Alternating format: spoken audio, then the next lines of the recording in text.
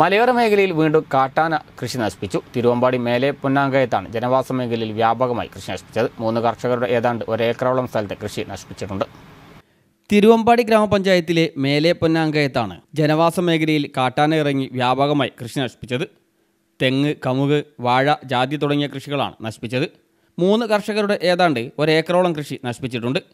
ഇടനിലപ്പറമ്പിൽ George വട്ടത്തുണ്ടതിൽ ജിഷാന്ത് അമ്പലവേലിയിൽ Sabu എന്നിവരുടെ കൃഷികളാണ് കാട്ടാന നശിപ്പിച്ചത്. സോളാർ ഫെൻസിംഗ് വെച്ചിട്ടുണ്ടെങ്കിലും പ്രവർത്തനരഹിതമാണ് എത്രയും പെട്ടെന്ന് ഫെൻസിംഗ് പ്രവർത്തിപ്പിക്കണമെന്നും വാച്ചർമാരുടെ നിരീക്ഷണം ശക്തമാക്കണമെന്നും നാട്ടുകാർ ആവശ്യപ്പെട്ടു. News bureau Thiruvambadi.